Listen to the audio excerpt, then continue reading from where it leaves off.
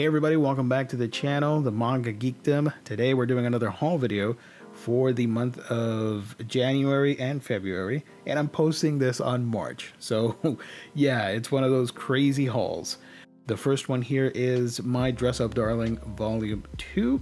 You might remember if you've been watching the channel that I placed an order back in November of last year, and that got lost in the mail. I waited almost a month then I contacted Route. Unfortunately, they couldn't make the order right away at Right Stuf because My Dress Up Darling Volume 2 was still sold out. They were waiting to get more copies. So they finally did and shipped it by itself.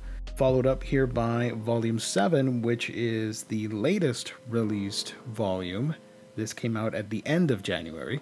So now we're all up to date with this series. Next one up is Gantz Omnibus Volume 11. We're one book away from having all of Gantz collected in this omnibus format, or at least the original series. I should mention this is my first time reading this. I, I don't want to flip around too much because I, I don't want to spoil anything. But yeah, super happy to own Gantz Volume 11 of the omnibus editions. The Night Blooms Behind Castle Walls Volume 1. I made a first impressions video on this if you want to check it out on the channel. Really enjoyed this series. It's about a squ squire that dreams of being a knight. She's pretty cool and uh, the whole manga is just really well drawn and uh, the definition of a wholesome read. Something that's not wholesome and actually quite macabre and perverted, I guess. Succubus and Hitman Volume 3 of this series. I really enjoyed this volume. It had some of the most intense action scenes of the series so far, and the protagonist is doing the rescue mission uh, for another character. And I want to spoil it just in case if you're uh, reading this for the first time. And that whole sequence was just uh, shocking, badass, and a little traumatizing, to say the least. Next up is Oshi no Ko Volume 1. I also did a first impressions video on this if you want to check it out here on the channel. Uh, yeah, this, this is quite the experience. I knew of how bonkers it was, but I wasn't ready for what was to happen in this first volume. It's a shame that we gotta wait so long for volume 2, but uh, it's gonna be worth it, I think. I really enjoyed it by the end. It got better as it went along. But I love the art and the crazy premise. And in that same video, I talk about Honey Lemon Soda, which was a pleasant surprise. And I know it's a, it's a famous shoujo manga, and I wanted to give it a shot. I really enjoyed Honey Lemon Soda. It was quite the refreshing read. Kowloon. Here we have Volume 1, Kowloon Generic Romance, and Volume 2 as well. A fantastic series. Slice of life, romance, with a hint of supernatural elements. I'll just leave it at that, but it's a really good series. Highly recommended. Tatsuki Fujimoto Before Chainsaw Man 17 to 21. I was at Walmart of all places, and they've been expanding their manga section. I've seen a lot of Viz books, Seven Seas, Kodansha, stuff like that. The layout of this book just called out to me in the color scheme, and I like Tatsuki Fujimoto. Obviously, I've read Chainsaw Man, enjoyed that, and I really like his short stories, uh, especially like Goodbye Eri. So I thought I should pick this up and support uh, Fujimoto. Next up is Frieren Beyond Journey's End, and that's pretty funny because last haul video I said, you know what, I'm gonna slow down on getting stuff that I haven't read yet because I've only read like two volumes of Frieren, and just as I said that, I realized, oh crap, I forgot I had already pre ordered Volume 7. So uh, maybe I'll do that with Volume 8. Dr. Stone Volume 24, two more books, if memory serves me right, and we will have the entirety of that series. Happy about that to have a complete Shonen Jump series on my shelf. I love this series so much. And here is Beastars Volume 22, the final volume of Beastars. I am two volumes behind on my reading. I need to finish this. Excited to check it out. I love Beastars so much. One of my favorite manga from the past couple years. I think I started reading it when it came out, and uh, or at least when the first volume came out stateside. So I'm excited to see how it all wraps up. And as you can see here, Record of Ragnarok Volume 5. This is another kick-ass series. Super happy to get this, but I just wish the books would come out a lot faster because we are way behind. Here's a look at all the colorful spines. I know a lot of you like to look at that, myself included. Next up from Seven Seas, we got Marmalade Boy, the Collector's Edition, Volume 1. I couldn't pass this up. I know about it from the anime. It's a legendary series, a very famous rom-com. Wanted to add it to my collection, and I believe it shouldn't be too long.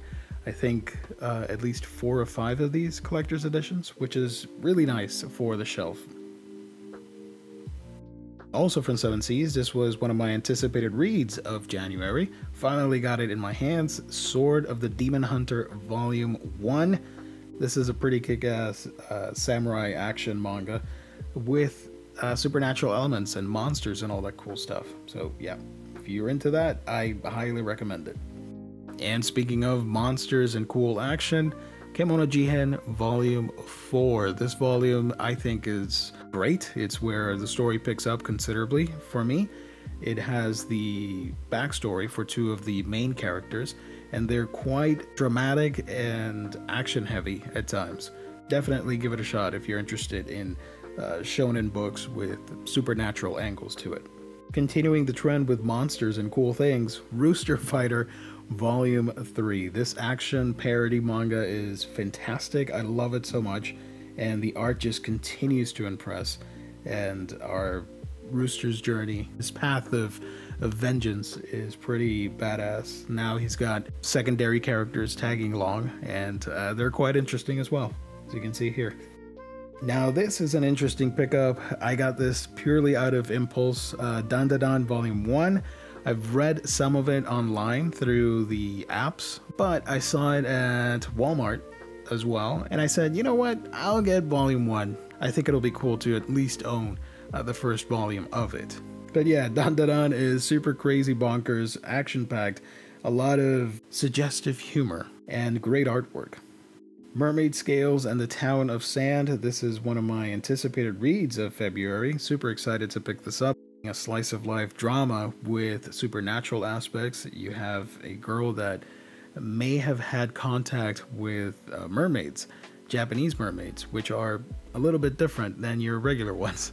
And I love the art on this, and I love the build. I love that it's oversized. This uh, book looks fantastic, and I can't wait to read it and talk a little bit more about it. So look forward to a video on that uh, real soon. Had to do it. Picked up another omnibus edition of Alita Last Order. Uh, missing obviously volume 5 and then the rest would be the single editions right? 16 to 19 or something like that. Uh, so yeah looking forward to finishing off collecting the sequel series to uh, battle angel alita. Also from kodansha rent a girlfriend volume 17 I stopped reading it uh, when I got to volume 12, and now I recently picked it up again because I know season 3 of the anime is coming soon. So I'm really enjoying the current arc with the crowdfunding for the film. And to wrap up the manga section here, we got Break of Dawn. I was super intrigued when I read the description for it. This sci fi coming of age story. It has a movie. I haven't seen it, it looks awesome so I wanted to pick up the original source material. I like that it's an all-in-one and it's pretty chunky. Look at the size of this thing. It's a it's a mini brick. I like it. Can't wait to read it and give you my thoughts on it on the channel. Couple anime here. We got the first half of Mushoku Tensei Jobless Reincarnation. Really enjoyed it. There's a reason why a lot of people call it sort of the grandfather of the modern isekai and I really enjoyed uh, the main character as uh, faulty and perverse and weird as he is. There is a charm to his journey. I love the character progression and I love the world building on this thing. Can't wait to revisit Mushoku Tensei. I don't know if I'm gonna get the light novels or manga, so the anime's just fine. I'm looking forward to completing season one and getting the other Blu-ray release, which came out as of me making this video. Here is Ranking of Kings, the first half. This was one of my favorite anime of 2021. Highly recommend watching it.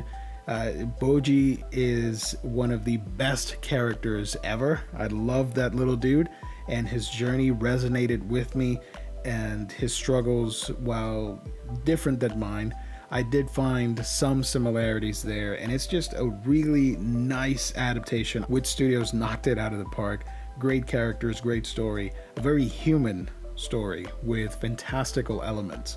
So, yeah, don't want to spoil it too much, but this young prince, he is supposed to be next in line to be the king.